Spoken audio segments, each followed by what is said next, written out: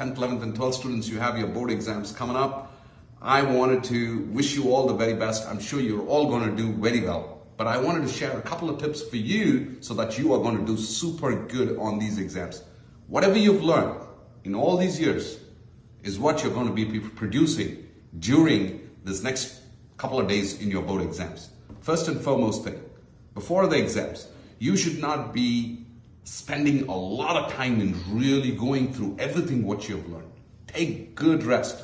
Kids of your age, you need to have at least 8 to 10 hours of sleep. So every day before the exam, take at least 10 hours of rest. When you get up in the morning, most importantly, take a brisk walk, go for a run, sweat it out so that you can get the energy. The third thing is have a good breakfast.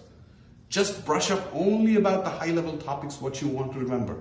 And most importantly, do not go to the in front of the examination hall and start flipping the papers and trying to remember the formulas, things which I used to do.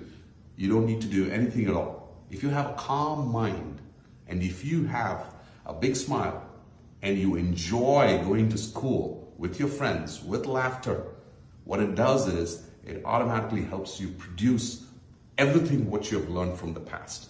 So a calm mind is what is really going to help you score really well. You are special, you're unique, and you're destined for greatness. You're all going to do very well. All the best.